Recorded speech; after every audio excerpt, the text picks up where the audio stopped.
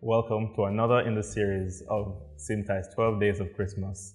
I am Rory Barrett, and on day 10, we give you the gift of data mining. What is data mining?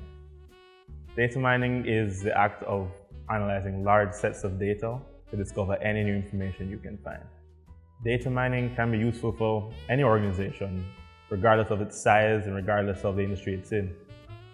We live in a world today where we're collecting data from almost every single point and every interaction that we have with our customers, with various clients and various transactions in-house. And using that data, you can find new ways and better ways of making your business more efficient, more cost effective, and gaining a new competitive edge against your competitors. Three things an organization can do, whether they're just starting off in data mining or they want to improve. First, assess your data quality. Whether you think you have good data or not, it's always better to know where you stand on that topic. So if you have something you can improve on, you can start making strategic decisions to do so, or you might just find a hidden gem of data that is even more useful than you thought. Second, incorporate the use of data in your business processes.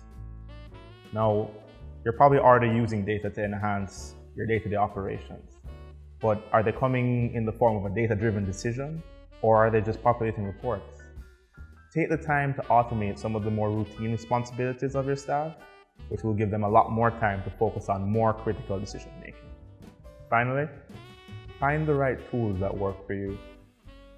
I know that when we're talking about data mining that it can seem a little daunting. Today there are so many tools available, no matter what your skill level, no matter what your exposure to the environment, from a simple tool that will allow you to collect your data and redistribute it the way you want to, or something for enterprise level IT departments that allow you to do some incredible new things. Take the time, learn about data mining. Trust me, you can benefit.